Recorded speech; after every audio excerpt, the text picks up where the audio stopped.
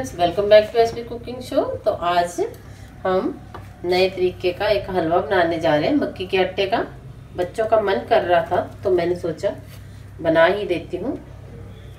तो सबसे पहले हम ये देसी घी डालेंगे।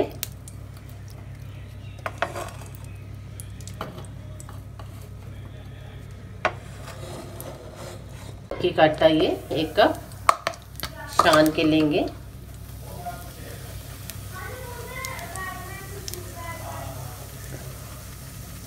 तो ये फ्रेंड अच्छे से भुन गया है। बहुत अच्छी खुशबू आ रही है। बहुत ही टेस्टी और बहुत ही लाजवाब हलवा बनता है मक्की के आटे का। अभी हम ड्राई फ्रूट डाल देंगे इसी में ही। और मैंने फ्रेंड्स जैसे ये कप एक मेज़रमेंट बता रही हूँ मक्की के आटे का डाला है। तो अगर मीठा तेज़ खाते हो तो वन थर्ड इसमें की चीनी डाल देनी है।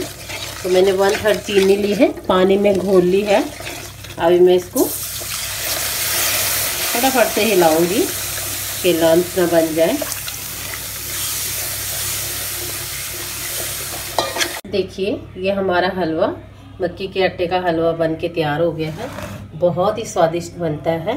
आप भी इस तरह से बनाएँ और मुझे कमेंट बॉक्स में लिखें कि आप ये मक्की के आटे का हलवा कब बनाने जा रहे हो। Thank you friends